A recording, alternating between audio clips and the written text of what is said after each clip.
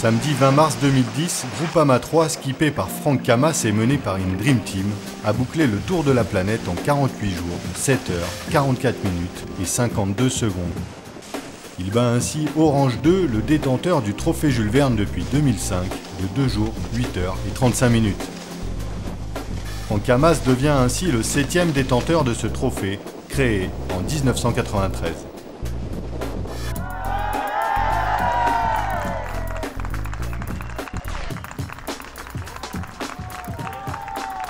Intéressant, enfin je sais pas si vous avez remarqué, mais comme à chaque fois, moi ça me.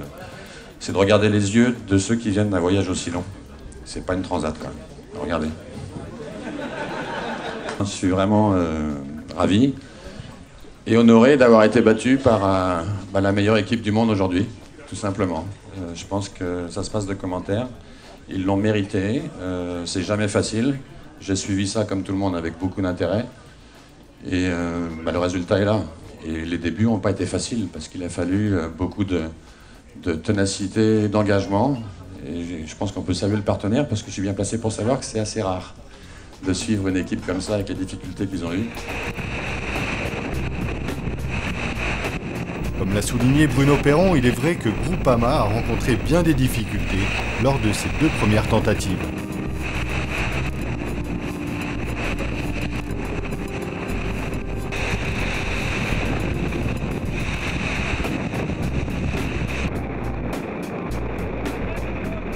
Première début 2008 s'est soldée par un chavirage au large de la Nouvelle-Zélande, suite à la casse du flotteur qui avait entraîné la rupture de bras de liaison.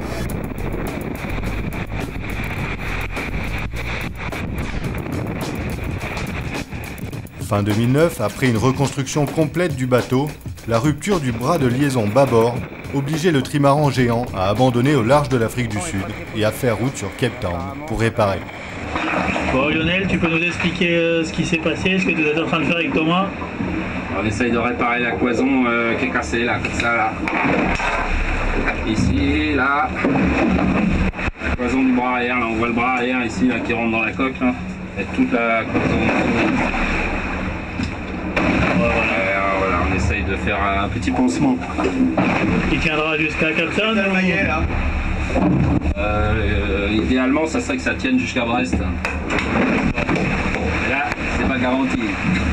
Écoute, bon ben, bon, bon courage. Oui, oui, euh, impatient, euh, impatient de trouver le vent. Et, euh, et aussi, on est impatient parce que parce que c'est un peu notre dernière chance euh, à bord de Groupama euh, cette année avec, euh, avec une fin stand-by qui approche et aucune météo euh, très bonne en vue après, euh, après aujourd'hui. Et encore aujourd'hui, c'est extrêmement délicat. Donc on va euh, saisir euh, cette chance au maximum. Donc c'est pour ça qu'on s'est mobilisé pour ça. Euh, on aura peut-être une réponse dans 24 heures pour voir si ça a passé euh, au moins les moments critiques du départ. Alors attention pour le passage de Groupama 3. Attention. Euh, top Passage de la ligne. C'est donc le 31 janvier 2010 à 13h55 minutes et 53 secondes que Camas et ses hommes ont pris le départ profitant d'une étroite ouverture météo. Le cœur est déroulé, j'ai un cœur médium. On va rouler le cement. Et ça y est, on est, on est parti là. Ça y est, on a passé euh, la ligne depuis quelques minutes. Lancé à fond de balle à entre 20 et 25 nœuds.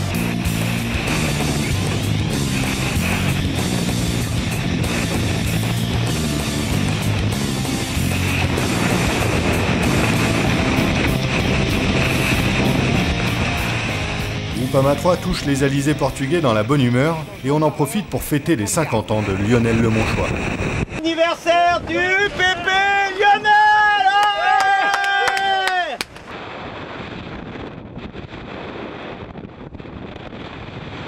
L'équipage coupe l'équateur en 5 jours 19h et 7 minutes avec un peu plus de 24 heures d'avance sur Orange 2.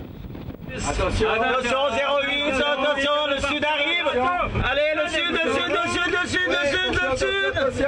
attention. 1, 2, 1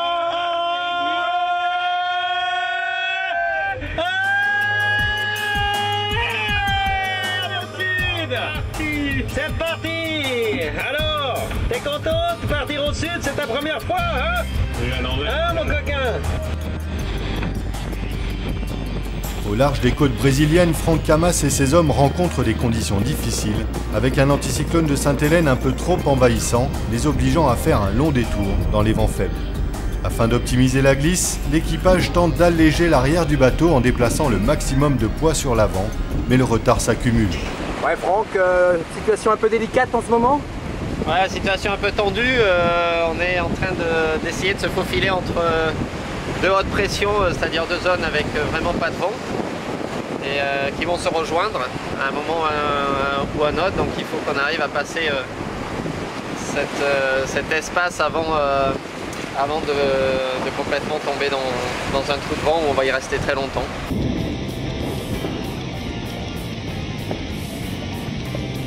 Les 40e rugissants sont associés au retour de vent portant, soutenu. Groupama 3 accroche une dépression qui lui permet de reprendre de la vitesse avec des pointes à 35 nœuds et de combler une partie de leur retard. C'est finalement au 14e jour que les 10 hommes passeront le cap des aiguilles qui marque l'entrée dans l'océan Indien.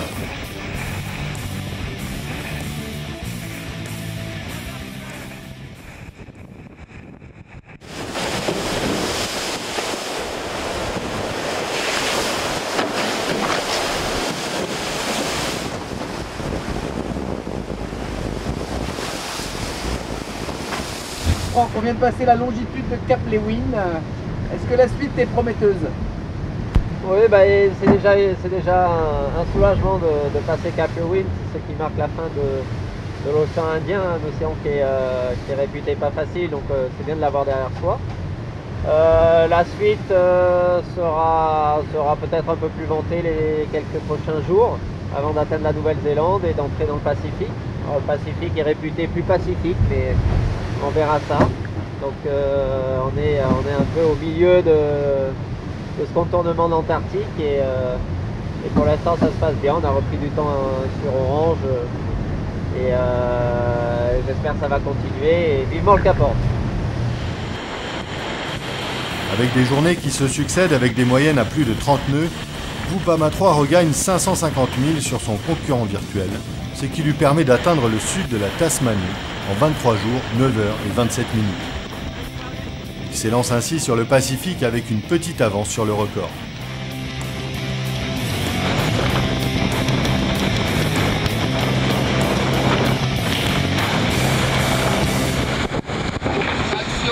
Lionel Manchois entre sur le ring. Yeah man La foule en délire On regarde la foule. La foule en délire Effectivement, énormément de monde ce matin. La veille du passage du Cap Horn. Et voilà le deuxième qui monte sur le ring, Ronan Le Goff, Ronan Le Goff, le Brésilien du bateau. Et derrière lui en troisième position, Fred Le Petrec. A-t-il bien dormi, euh, Fredo Mais ouais, mais alors à la fin, mon Jaco. À la fin aussi. Ah, je me suis écroulé à la fin. Comment ça se fait que tout le monde dort à la fin Bah, parce que à la fin, on est fatigué.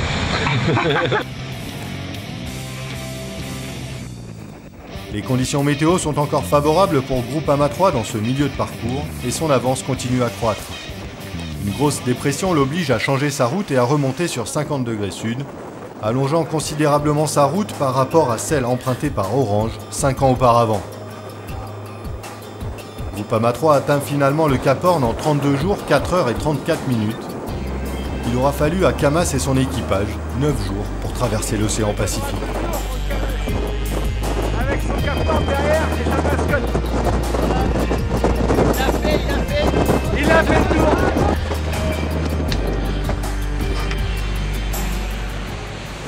Franck, dernier tiers du parcours, remontée de l'Atlantique jusqu'à Ouessant. Tu peux nous faire un petit topo sur cette remontée? Bah, déjà jusqu'à l'équateur, euh, là on est en train de faire du près depuis le, depuis le Cap Horn. Euh, c'est pas l'idéal, euh, mais, euh, mais heureusement que le Groupama va vite dans ces conditions-là. Euh, et donc on s'écarte pas mal de la côte et de la route directe pour l'instant. Le début de la remontée de l'Atlantique est laborieux. Groupama 3 repère du temps sur Orange 2, qui avait bénéficié en 2005 de vents portants, tandis que Camas et ses hommes font du près au large des côtes du Brésil. pour son deuxième passage de l'équateur effectué en 41 jours, 21 heures et 9 minutes. Groupama 3 comptabilisait 1 jour, 2 heures et 4 minutes de retard sur son adversaire. Mais le moral restait au beau fixe à bord du trimaran vert.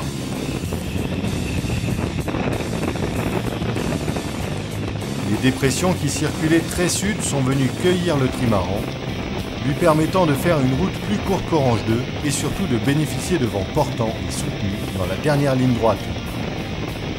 Les conditions ont été éprouvantes avec beaucoup de pluie et des vents de plus de 40 nœuds.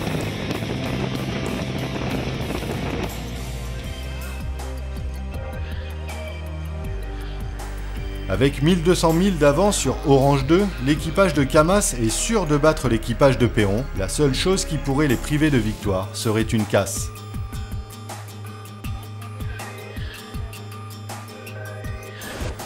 C'est finalement à 22h40 que les 10 hommes passent le phare de Créache à Ouessant, soit un tour du monde bouclé à plus de 25 nœuds de moyenne en 48 jours, 7 heures, 44 minutes et 52 secondes. Dans très peu de temps, le passage de la ligne. Qu'est-ce que t'en penses? Moins de 2000, on a le record, donc euh, je pense que tout le monde peut être fier un petit peu d'avoir vécu cette aventure. On est à 3000, euh, 3000 de la ligne. 3000 de la ligne. 20 secondes de la ligne, 20 secondes de la ligne. Ça reste toujours un moment, un moment sympa d'arriver. Bon, non, c'est une histoire qui se finit bien, quoi. Voilà. Ah, c'est parfait, c'est parfait.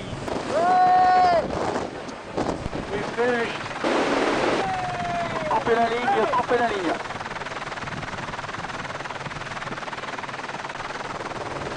Montrez vos gueules, les mecs, montrez vos gueules. Ouais. Ah, voilà, les têtes là, voilà. Venez montrer vos têtes. Là, voilà, toi Thomas. Voilà, il est content.